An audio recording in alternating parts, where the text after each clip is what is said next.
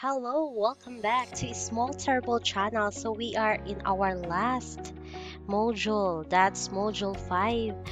I hope na subaybayan ninyo lahat para um, kung sakali ibibigay ko na itong soft copy sa inyo, hindi kayo mahihirapan kasi in-explain ko naman dito, di ba? Okay, so simulan na natin ang last module and this is module 5. Let's have first the customized view of our self-learning module. Kasi ito ang makikita ng mga bata. Okay, nandito na tayo sa Module 5. Ito ay Quantitative Concentrations of Solutions. So sa MELC or the most essential learning competency na ibinigay ni DepEd, ito ang nandoon. Express concentrations of solutions quantitatively by preparing different concentrations of mixtures according to uses and availability of materials. So in this module, this is what we're going to learn. And we have three targets. So these are comprises the KSA or the knowledge, the skills, and the attitude part of our objectives. So we have to define concentrations of solutions quantitatively, compute percent by mass and percent by volume, and show willingness to show the process of solving percent by mass and percent by volume. So that would be our target in this module. And we have the unlocking of difficulties. And we have to try this. This is the, our activity introductory activity for our students. So all you have to do is they are going to click on the picture. And so this is the fill in the blank wherein oh I forgot. They should be column A. This should be column B alright and this is column C. And this is column D okay?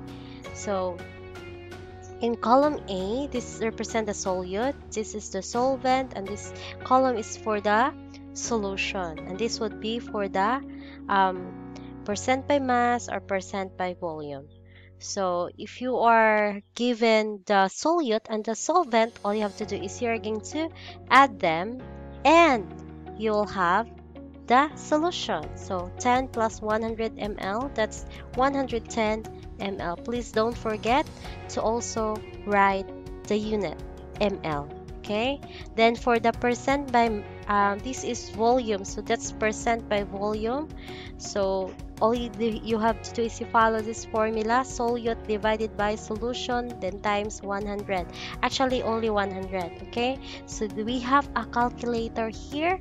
So all the student will do let's go back click it click it to pop up click it again to to uh, remove from the screen. Okay let's click on it and and you can drag it anywhere you want to um, you place this calculator. So for example, this one, that's 10 because because it's solute divided by solution. So 10 divided by its solution, all right? So do not use the solvent, it's the solution. 110 cos then the answer you're going to multiply it to 100 okay? And your answer is 9.09 okay?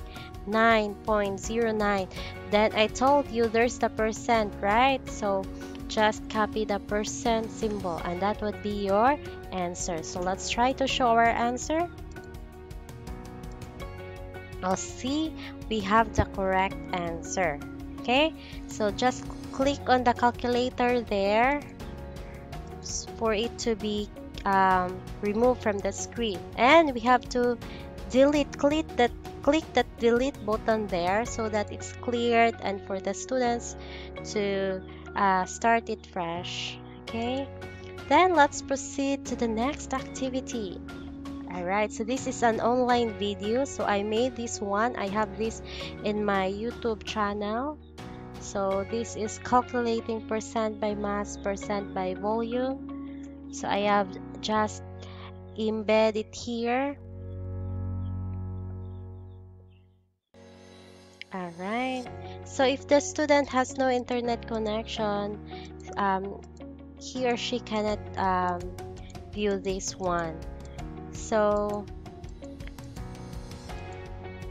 alright so I have to supposed supposed to I have to make a PowerPoint for this so that the student can still can still look at it when um, even though they do not have an internet connection. Anyway so after this um, after this video making right now I am going to do it so that you are going to have it when you have the the soft copy of this ebook okay let's proceed to the next activity okay so it's explore okay so what is the percent by mass of 10 grams? Okay, let's go back here. Now, question one.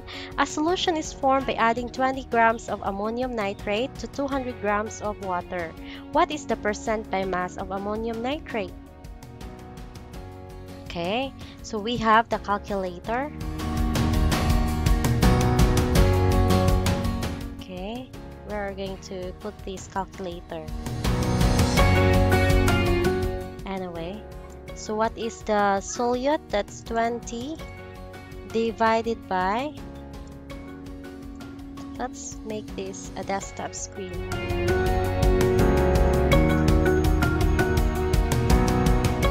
okay so the solution is 20 then the 200 there is water so that's the solvent. So take note that our denominator should be a solution.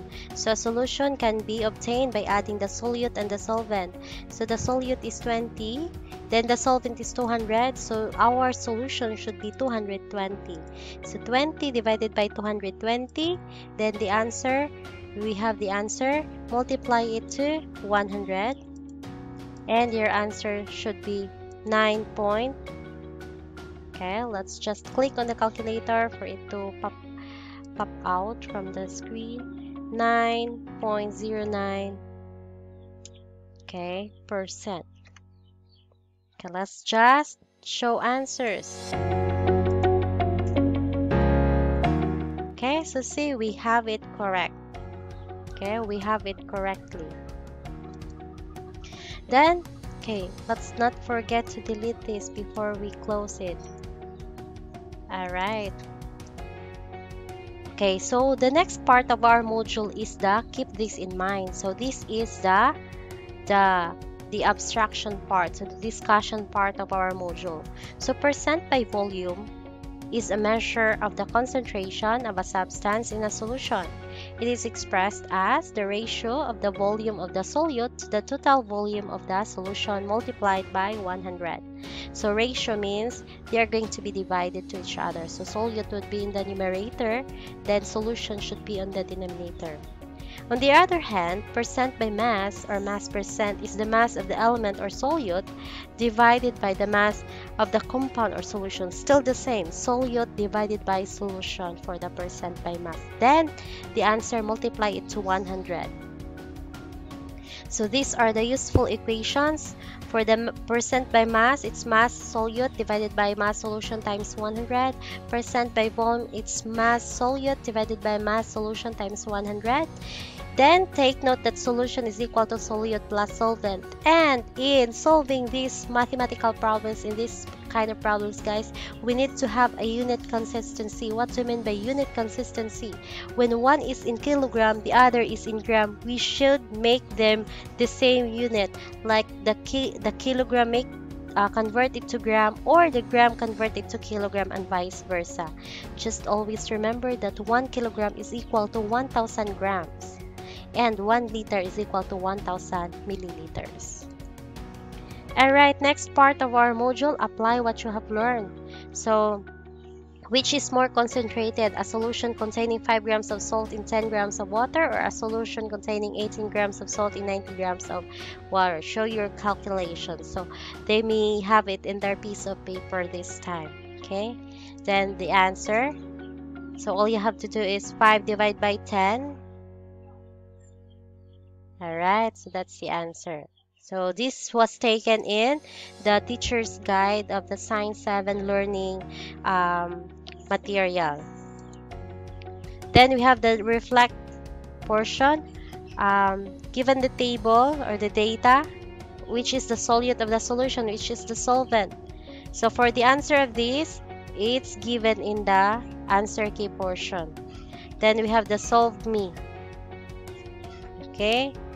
This time another problem solving.